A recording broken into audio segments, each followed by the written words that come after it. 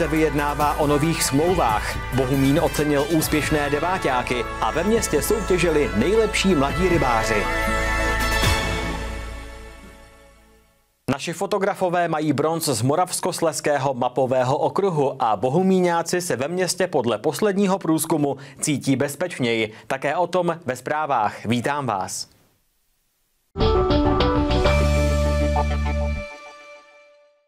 Hospodaření města za první čtyři měsíce letošního roku, koncepce rozvoje sportu, stanovení počtu členů pro příští volební období. Zastupitelé Bohumína se v pondělí 11. června sešli na dalším zasedání. Záznam z něj odvysíláme ještě v pondělí 18. června od 18 hodin v síti kabelových operátorů.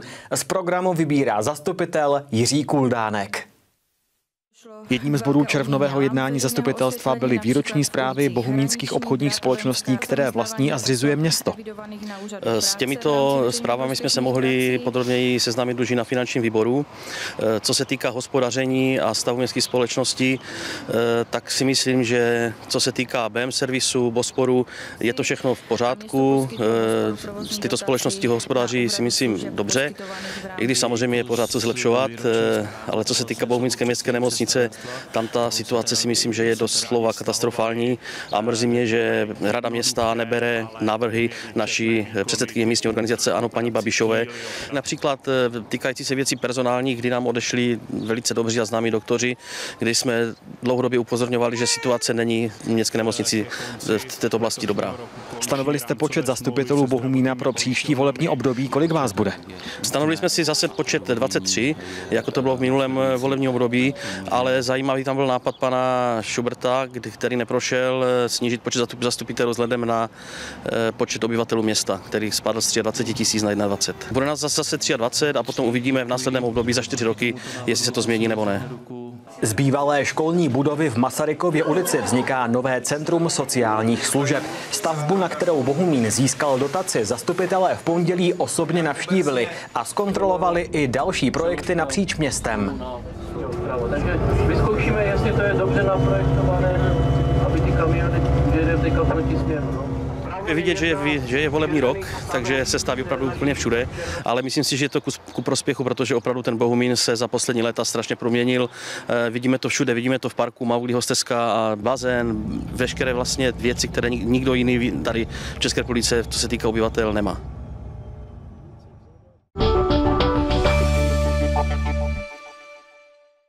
Bohumínskou městskou nemocnici od 1. června řídí Svatopluk Němeček, bývalý ministr zdravotnictví a šéf Ostravské fakultní nemocnice. Tamní zařízení opustil po 13 letech a je ve sporu se současným vedením rezortu. Pro nemocnici v Bohumíně teď vyjednává nové smlouvy se zdravotními pojišťovnami, aby se na trhu udržela. V bohumínské nemocnici svatopluk Němeček jako lékař začínal. V letech 2002 až 2005 ji řídil, pak odešel do Ostravy. Teď je zpátky.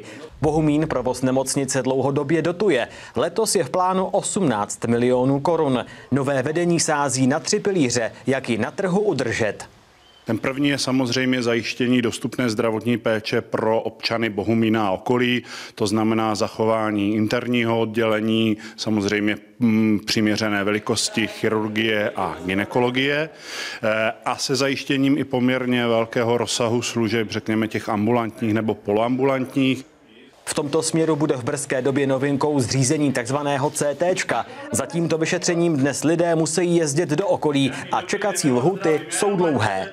Takže nejenom, že se některé věci mění, omezují, ale plánujeme poměrně velmi dobrou věc pro občany Bohumína.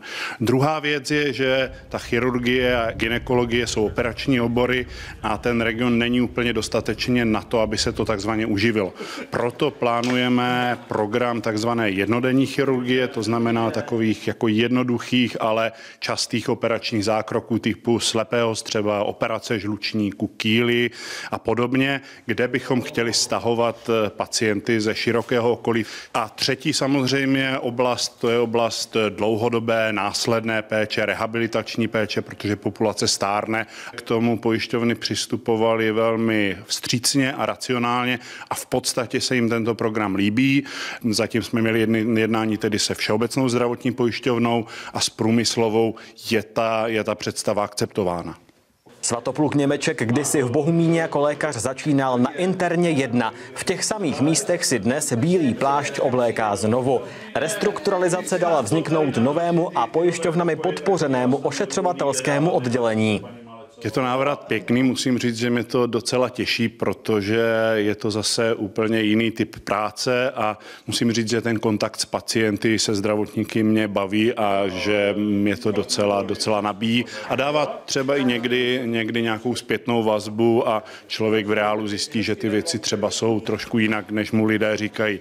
A musím říct, že mě hrozně těší, že jsem tady doma a cítím se tady doma, protože potkávám je spousta lidí, kteří mi vyjadřují podporu Kapacita nového oddělení je 22 lůžek. V prvním červnovém týdnu už byla zcela naplněná. Následnou péči dnes v Bohumíně poskytují už čtyři nemocniční sekce.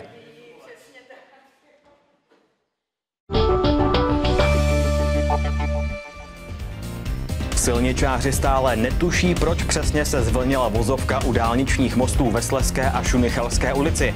Proces deformace navíc pokračuje, prokázalo monitorování v zimním a jarním období.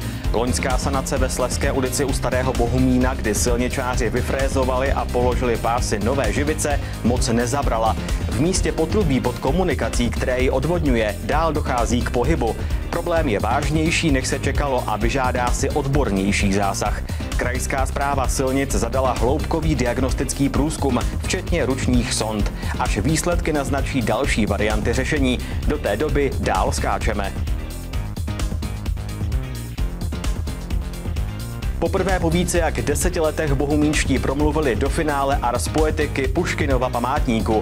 Mezi nejlepší účinkující 52. ročníku festivalu přednesu a zpěvu v ruském jazyce se probojovala Anna Opartyová z Nové Vsi.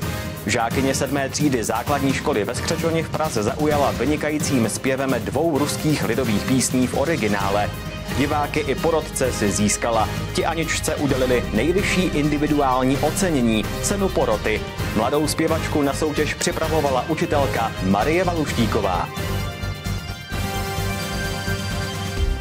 Nad Odrou z ptačího pohledu odvážní si sjeli alpský travers. Speleologové z klubu Orkus ho znovu natáhli mezi břehy Odry v délce 100 metrů. Z Budlova do Antošovic se ve speciálním postroji projelo Polanovce jen dětí více jak 100.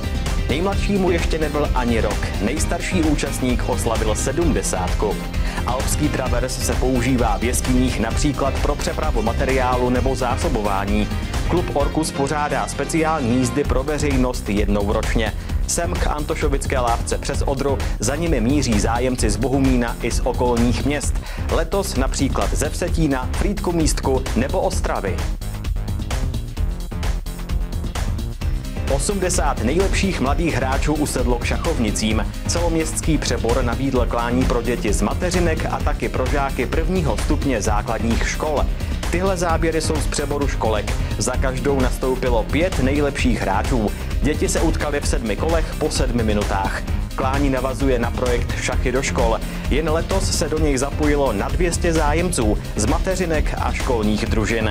Projekt s podporou Bohumína realizuje Dům dětí a šachová Slávie Orlová. V přeboru mateřinek zvítězil Matěj Bonček a Emma Iliková. Pro nejlepší tým ze školky na Pískách organizátoři připravili dort ve tvaru šachovnice.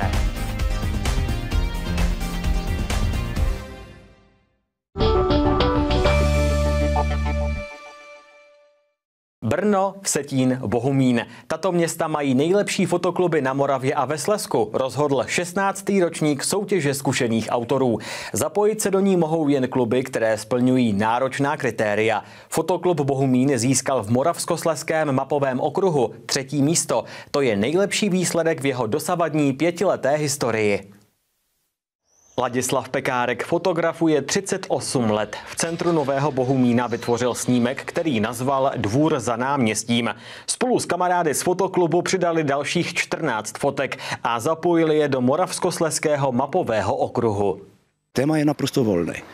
Každý fotoklub si tam může dát prostě fotografie takové, jaké uzná za vhodné, o kterých si myslí, že jsou nejlepší.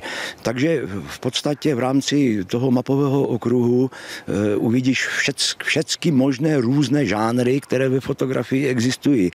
Petr Pěchovič, Josef Wagner, Karel Korběl, Vlastimil Kaňok a Ladislav Pekárek. Pět autorů fotoklubu Bohumín, pět různých stylů a pohledů. Od architektury přes portréty, zátiší, poloakty až po krajinu a snímky z Alp.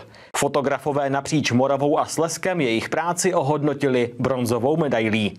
Samozřejmě, že si toho vážíme, protože působíme v mapových okruzích už pět let a toto je vlastně nejkrásnější umístění, kterého jsme docílili, takže je to samozřejmě pro nás i do budoucna závazek. Probíhá to vlastně tak, že každý fotoklub připraví kolekci 15-20, je to, je to je různé fotografii a vytvoří se jakýsi oběhový plán a všechny fotokluby ohodnotí fotografie všech ostatních fotoklubů.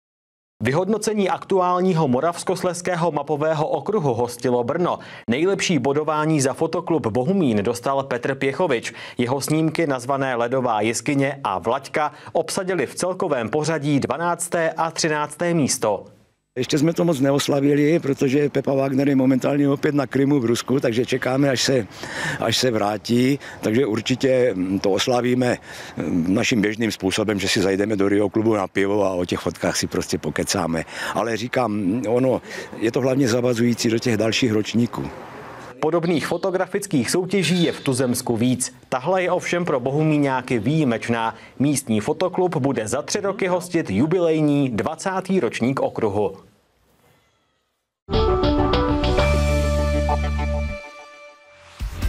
Doprava v serpentinách v Záblatí je dočasně s omezením kvůli probíhající výstavbě kanalizace a chodníku. Provoz řídí semafory. Mnohým řidičům se ovšem nechce čekat a proto si cestu zkracují ulicí na úvoze. Jenže povolenou dvacítku v obytné zóně tam dodržuje málo kdo. Podle průzkumu tudy ráno aktuálně projede i 80 vozů a předpisy skoro nikdo nectí. Nepomohly ani opakované domluvy. V úseku proto strážníci do odvolání měří rychlost a padají pokuty. Na rychlou jízdu aut si opakovaně stěžovali místní. Výstavba kanalizace a chodníků v serpentinách potrvá do konce letních prázdnin. Hraný snímek Koumáci, ve kterém účinkují klienti Centra sociálních služeb Bohumín, bodoval na festivalu Mental Power. Přehlídka je svým pojetím unikátní, protože ve filmech hrají lidé s mentálním handicapem. Koumáci získali cenu za nejlepší scénář, pod kterým jsou podepsáni Nikola Liberdová a Marek Spáčel. Snímek natáčeli v loni v Bohumíně a na zámku v Šilheřovicích. Kamarádi, kteří tam jsou na exkurzi, zaslechnou plány zlodějů z mocnice v zácné vázy. Parta navzdory svému handicapu se rozhodne zasáhnout. Klienti sociálně terapeutických dílen Klíček se před kameru postavili už po čtvrté. Házení barevnými míčky do semaforu, jedna z disciplín dopravního odpoledne pro děti. Prázdniny klepou na dveře a z pohledu nehod ve spojení se školáky jde o rizikové období. I proto na ně v parku čekala série osvětových úkolů. To všechno prošpikované zábavou a volnočasovým vyžitím. K oblíbeným atrakcím patřila požární technika. Spolu s dobrovolnými hasiči ze záblatí si ji osobně vyzkoušeli malí i velcí. Nechyběly skákací hrady, airbrush a malování na obličej nebo stolní hry. Dopravní odpoledne pořádali K3, radniční odpor dopravy, Český červený kříž Karviná a hasiči ze záblatí.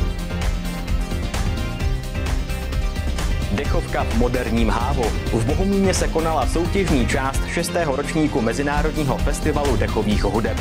Před odbornou porotou v kině zahrálo šest kapel, včetně dechového orchestru z Hradce nad Moravicí a hornické kapely z Havířova města.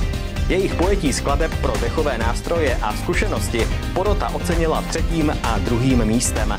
V hornické kapele hraje na příčnou flétnu naše kolegyně, moderátorka Monika Kozmonová. Vítězem ročníku je dechový orchestr z Goukovic. Z Bohumína se muzikanti přesunuli na promenádní koncertní část, která se konala v polském Forkově. Prožili jste dětství ve školce ve Starém Bohumíně? Pak se vydejte na výstavu, která připomíná 90 let dlouhou historii budovy tamní mateřinky. V domě u rytíře na náměstí Svobody otevřeli v úterý odpoledne. Na výstavě uvidíte výtvarné práce dětí, dobové fotografie, tablo školáků a taky kroniky. Na jejich stránkách se vrátíte o desítky let zpátky. První česká mateřinka ve Starém Bohumíně vznikla už v roce 1920. Do stávajícího objektu se ale přestěhovala až v září 1945, kdy využila budovu bývalé německé mateřinky z roku 1928. Výstava potrvá do 29. června. Můžete ji navštívit v úterý a v pátek od 15 do 17 hodin.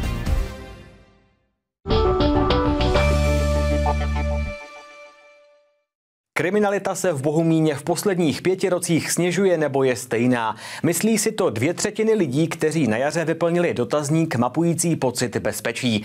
Město anketu zopakovalo po třech letech. Zapojilo se do ní 930 hlasujících. To je stejný počet jako posledně. Vnímání lidí kopírují oficiální čísla. Počet trestných činů dál klesá. 19 otázek v interaktivním dotazníku. Na webu bohumín.cz probíhalo hlasování v březnu a v dubnu.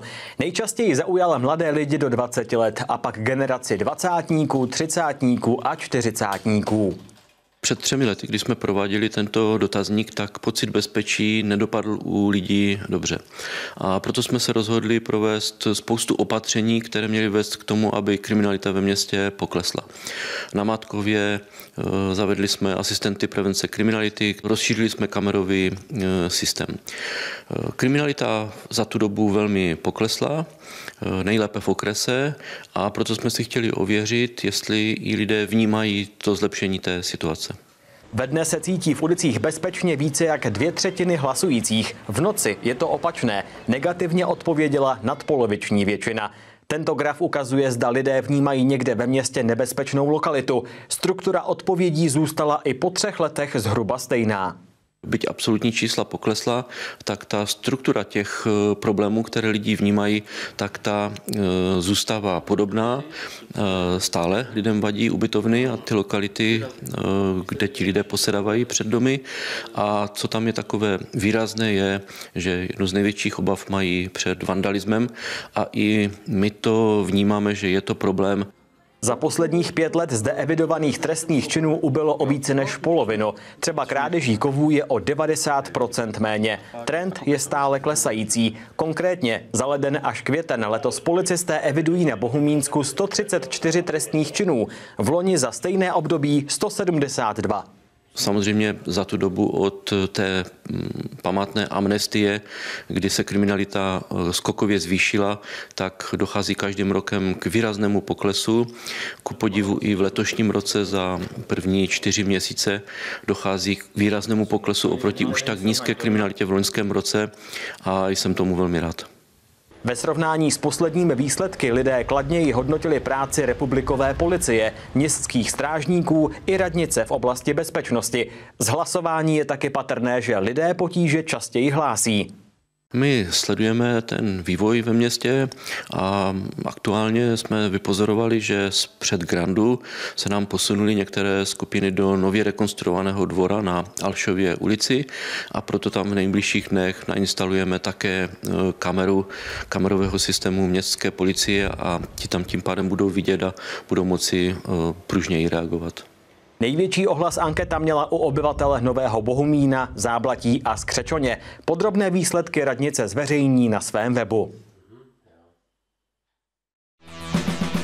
Natáčej videa z dění ve svém okolí. Ukaž nám akci svýma očima. Pochlup se unikátními záběry. Videa v délce do dvou minut nám pošli prostřednictvím své online úschovny dat na e-mail. Tak nejlepší videa odvysíláme. Všechny B reportéry zařadíme do slosování o zajímavé ceny. Podmínky účasti najdeš na našem webu. Staň se B reportérem Bohumínské televize.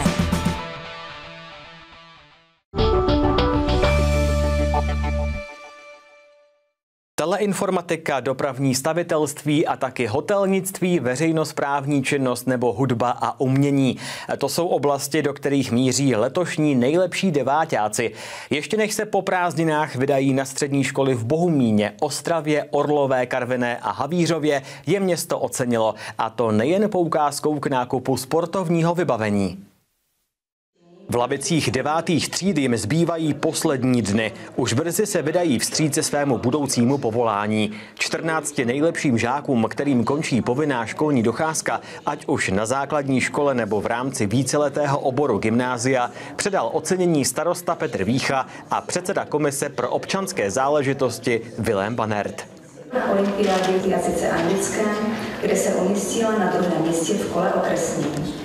Nejlepšími deváťáky školního roku 2017-2018 jsou Viktorie Kaňoková a Stanislav Vas z gymnázia, Robin Ilik a Anna Glučová, Kristýna Pecháčková a Ondřej Pecháček z Masarykovy základní školy, Daniela Držijaková a Kateřina Kolosová ze školy ve Skřečoni, David Urbančík a Michal Návrat ze školy na třídě doktora Edvarda Beneše, Jakub Vodecky a Ondřej Gire, Karolína Wagnerová a Kamila Hrvotová ze školy ČSA.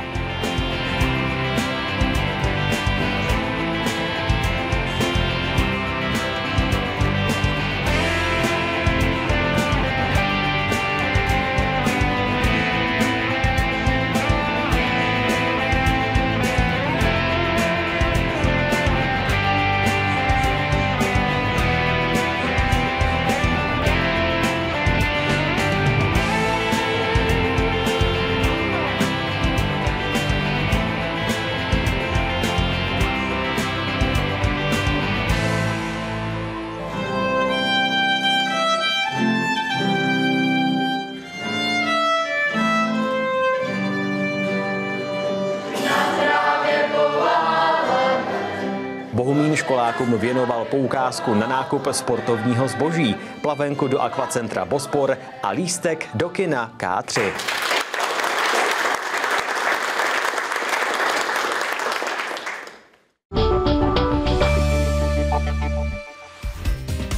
Moderní cyklostojany s nejvyšší úrovní zabezpečení kola proti krádeži. Radnice je pořídila v rámci projektu vznikající naučné stezky. Stojany s kapacitou 36 kol najdete na 10 místech pěti městských částech. Jízdní kolo ke stojanu uzamknete klasickým zámkem nebo speciální fabkou. Bezpečnostní vložku zakoupíte na radničním infocentru za 100 korun. Kolo umístíte do stojanu a odjistíte západku kovového oka. Zobáček na fabce mírně vyčnívá. Klíč svisle vložíte do bezpečnostní vložky, mírně pootočíte a takto umístíte do rámu. S klíčem se neotáčí jako v klasickém zámku, jen mírně pootočí a srovná. Vytáhnete ho a bicykl je součástí bytelného rámu. S instalací pomůže návod. Pořizovací cena stojanů je zdaní 77 tisíc. Bohumínu přispívá krajská dotace. Červen patří na místních náměstích dechovkovým čtvrtkům. Jednou ročně se konají tzv. promenádní koncerty, kdy muzikanti popadnou trubky a další nástroje, aby udělali posluchačům radost přímo pod širou oblohou. Bohumínská dechovka, jak si současné těleso říká, vznikla před pěti lety sloučením dechového orchestru Železáren a dechovky českých drah. Soubor vede kapelník Vladislav Oravčák. Na náměstí Tomáše Garika Masaryka muzikanti zahráli rovnou dvakrát. Třetí červnový koncert se koná ve Starém Bohumíně, a to ve čtvrtek 21. června. Oblíbené lidovky si tam můžete zanotovat od 16 hodin. Šaty dělají člověka a ne Rafíkovi módní trendy. Show, ve které se děti na malou chvíli staly modelkami a modely. Na pódiu a v záři světel předváděli módu typickou pro podzim, zimu, jaro a léto, tak jak jdou období v průběhu školního roku. Takže na podzim nechyběly pláštěnky a deštníky, v zimě třeba kulichy, anebo kožich ve stylu Leoše Mareše. Originální módní show se mateřinka Rafík stylově rozloučila s předškoláky, kteří už po prázdninách usednou v lavicích první třídy. Nevšedně pojala závěr školního roku už po druhé, v loni vsadila na autorský muzikál. Program si užilo na 70 dětí ze všech tříd.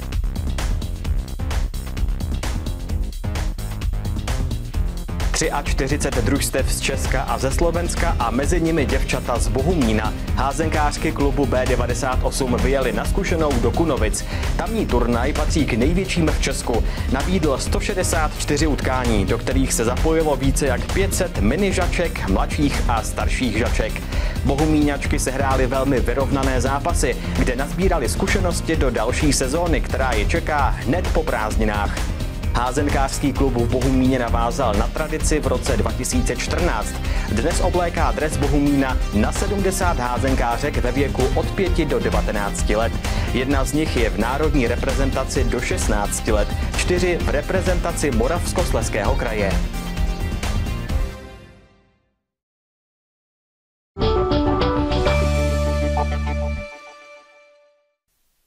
Nejprestižnější rybářská soutěž mládeže poprvé v historii zavítala do Bohumína. Na mistrovství České republiky žáků a juniorů v rybolovné technice se představila absolutní tuzemská špička.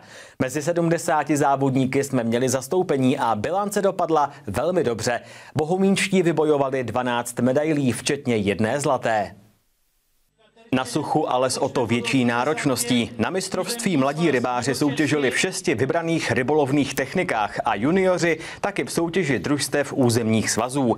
V Bohumíně šlo o tituly mistru republiky. Letos to je poprvé a nevím, kdy zase bude příště, protože o to pořadání je velký zájem. Střídají se jednotlivé územní svazy, takže teoreticky jednou za 8 let by to mohlo být v našem kraji. Ve dvoudenním programu představilo svůj um devět nejlepších českých družstev mladých rybářů. V sobotu dopoledne je čekala disciplína mužka na cíle zvaná skyš, kdy se hází na pět terčů s mezihodem i bez něj.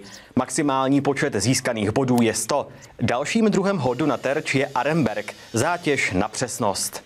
To je vlastně plachta na zemi, nejvyšší hodnocení vlastně 10, to je střed. Černý terč je, je střed, je 10 bodů. Haže se z 10 metrů, z 12 metrů, z 14 metrů, 16 metrů a 18 metrů. Bohumín na mistrovství reprezentovali mladí rybáři z Kroužku, který působí při místní pobočce rybářského svazu a domu dětí. Jeho členové po třetí za sebou zvítězili v územním kole celostátní soutěže Zlatá udice. Pět z nich se představí v národním kole. Taťka mě k tomu přived, protože jako jsem šel poprvé s ním na ryby a potom mě to chytlo. Já jsem si věřil v zatěži z Kyši. Vlastně v tom zatěži z Kyši jsem byl druhý a, a jsem byl třikrát ve finále. Tak ten nás čeká mužka dálka. Na ní je nejsložitější technika, je to všechno o technice a koordinace rukou. Vítr fouká po správném směru. Sluníčko mohlo, mohlo by být trošku šero, ale není to nejhorší.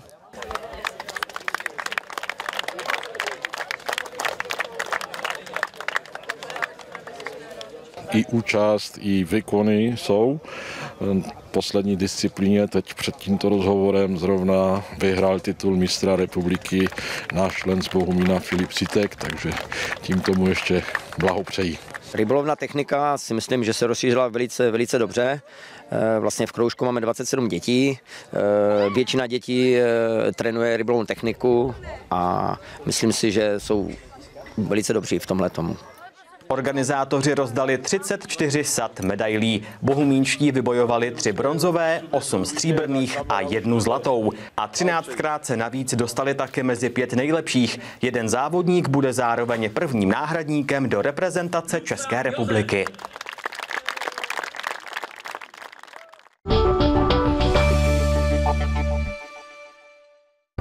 Klasickou pohádku o perníkové chaloupce se hraje v Bohumíně divadlo Harlekín. Vydejte se s dětmi za známým příběhem do kina K3 už tuhle neděli 17. června od 10 hodin. Za divadelním festivalem zaměřte na náměstí do Starého Bohumína od pondělí 18. do neděle 24. června. V pondělí od 20 hodin a 15 minut například uvede Verichovy Forbíny. Hrají Lukáš Šebesta a Ondřej Holaške. Knihovna jde do ulic. Od 9 do 17 hodin oblíbený antikvariát, odpoledne od 14 hodin program pro děti. Na náměstí před radnicí v Novém Bohumíně ve středu 20. června. Mezinárodní den jogy oslaví společným cvičením. Připojte se také ve středu 20. června od půl šesté večer na hřišti ve dvoře gymnázia. Zve Aerobic Klub Bohumín. Vstup je zdarma. 125 let oslaví sbor dobrovolných hasičů v Záblatí v sobotu 23. června u Sokolovny v Záblatí. Od 9 hodin ukázky techniky a zásahů a taky výstavka z historie sboru. Odpoledne od 15 hodin memoriál Lukáše Blahovce, soutěž v požárním útoku. Skatepark slaví narozeniny a zároveň otevírá nové workoutové hřiště. Exibice, závody, muzika i atrakce pro děti. Do areálu na Fajs ve spolek Mládež v sobotu 23. června od 14 hodin. Podrobnosti najdete na profilu pořádajícího spolku. Po zprávách připomínáme soutěžní otázku magazínu Kdo ví odpoví. Mimochodem hrajeme o zážitkovou jízdu obrněným transportérem. Ještě předtím prolistujeme novým číslem oka. Ode mě je to všechno, děkuji za pozornost a na viděnou.